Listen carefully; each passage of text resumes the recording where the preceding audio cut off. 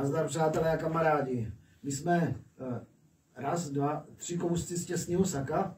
Kuba to natáčí, takže tady nemůže být. Pavlík, ten zase nechce nic říkat.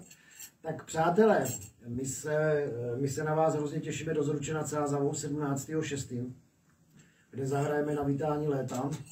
Těsný Sako tam vystoupí s programem Doznání rockera a myslím si, že se máte na co těšit.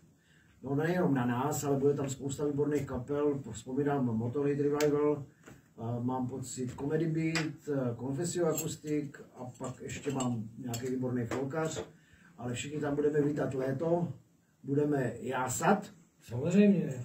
budeme hrát Big Wash, budeme hrát Big Wash Dokonce. a ještě vám to teda jednou připomeneme, kolikátýho? Oši? 17. A čeho? Je to je to celé. Celé něj. Zruč nad Sázavou, Kemprákosy, moc se těšíme. Vaše těsný záko, čau! Ahoj, čau, čau, čau lidi.